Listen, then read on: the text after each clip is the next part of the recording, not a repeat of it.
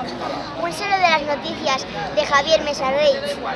Soy Necar Martínez Rubio, coordinador de la Falla Mayor Infantil de Valencia y os invito a las fallas 2018.